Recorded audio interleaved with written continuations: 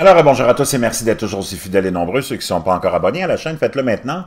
Allez vous abonner aussi à mes deux autres chaînes. Les liens sont dans la boîte de description.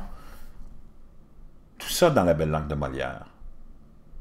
C'est important qu'on se parle dans la langue de Molière encore aujourd'hui, mais c'est important qu'on débunk la bullshit qu'on nous, qu'on nous passe aussi dans la langue de Molière. Et ça, il y en a beaucoup. Chers amis, on est le 30 avril 2019. 19h26, heure du Québec, avec une petite nouvelle légère, mais en même temps inquiétante aussi pour ceux qui s'intéressent aux astres et à l'infini, au cosmos. On a détecté sur Mars de l'activité sismique. il semblerait qu'on ait détecté de l'activité sismique qui aurait été entendue par le fameux InSight de la NASA démontre que la planète rouge gronde mystérieusement.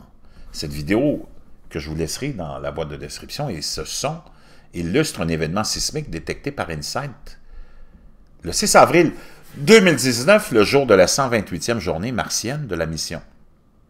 Trois types de sons sont distincts et peuvent être entendus tous détectés comme des vibrations du sol par le sismomètre de l'engin spatial appelé expérience sismique pour structure intérieure.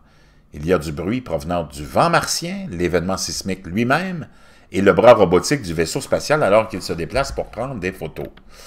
Cet événement est le premier masca, Quake probable enregistré par l'équipe d'Insight.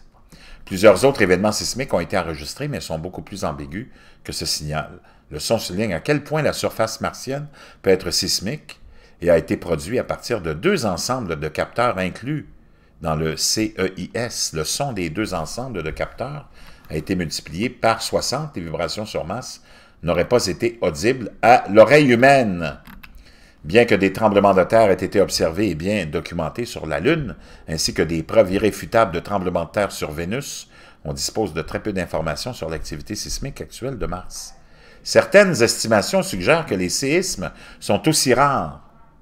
Néanmoins, il a été prouvé de manière convaincante que Mars avait été, par le passé, sismique, avec des bandes magnétiques claires sur une grande région du sud de Mars, les bandes magnétiques sur Terre sont souvent le signe d'une région où la croûte est particulièrement fine et qui se divise et s'étale, formant un nouveau terrain dans les failles qui se séparent lentement. Un excellent exemple de cela étant la dorsale médio-atlantique. Cependant, aucune crête épandue claire n'a été trouvée dans cette région, ce qui suggère qu'une autre explication, éventuellement non sismique, pourrait être nécessaire.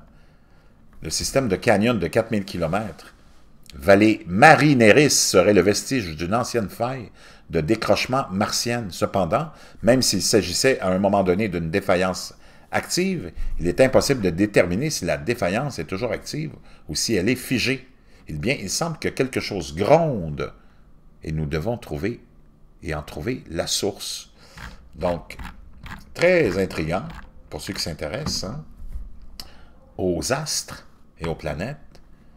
Et ça va faire parler, sûrement, ça va faire jaser, même les conspirationnistes. Qui est sur Mars en train d'explorer et faire vibrer les sismographes de l'InSight?